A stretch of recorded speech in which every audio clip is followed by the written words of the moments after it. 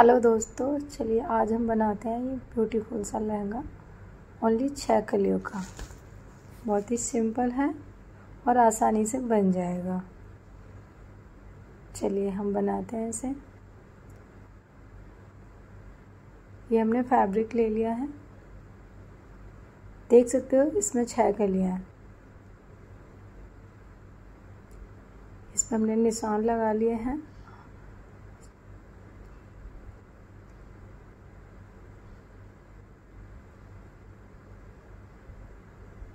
इसकी कटिंग कर लेंगे हम।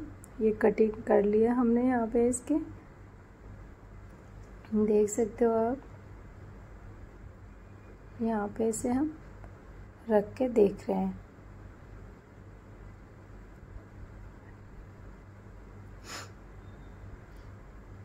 इतना आसान, इतना इजी है ये। जितना सुंदर लग रहा है देखने में, बनाने में उतना ही आसान है ये। अब इसकी कलियों को हम जोड़ेंगे।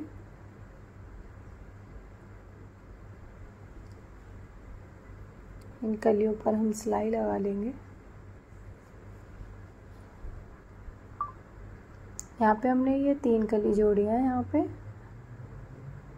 और ये हमारी छह कली जॉइंट हो चुकी हैं यहाँ पे।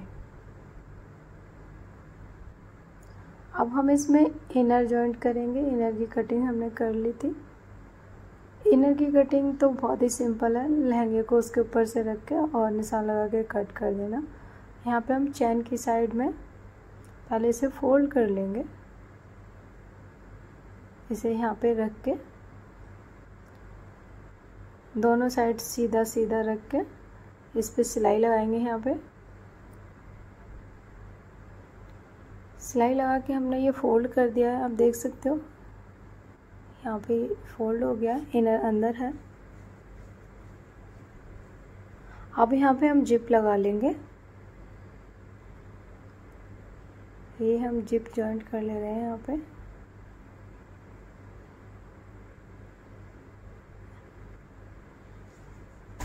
ये हमारी जिप लग चुकी है यहाँ पे।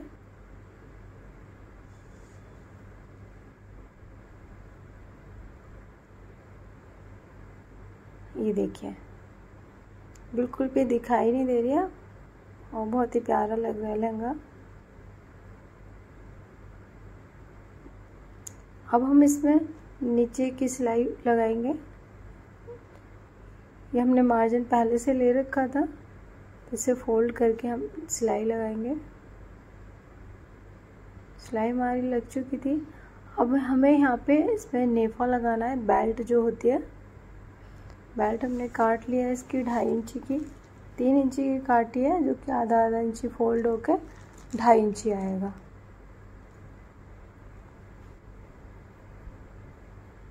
अब इनर और लहंगे के फैब्रिक को साथ में पकड़ेंगे और हम बेल्ट यहाँ पे जॉइंट करते जाएँगे।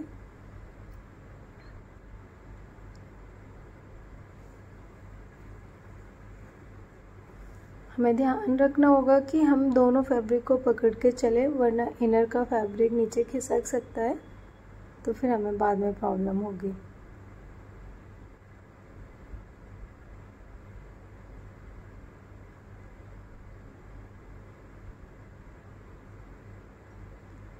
ये यहाँ पे किनारे पे सिलाई लगाते जाएँगे इसकी। सिलाई लग चुकी है इसकी। आप देख सकते हो यहाँ पे जिप ऊपर करके। सिलाई कंप्लीट हो गई थी इसकी।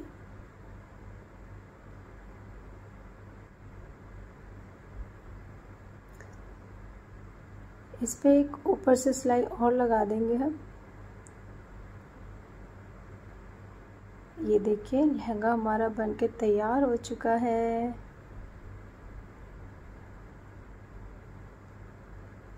Subscribe please.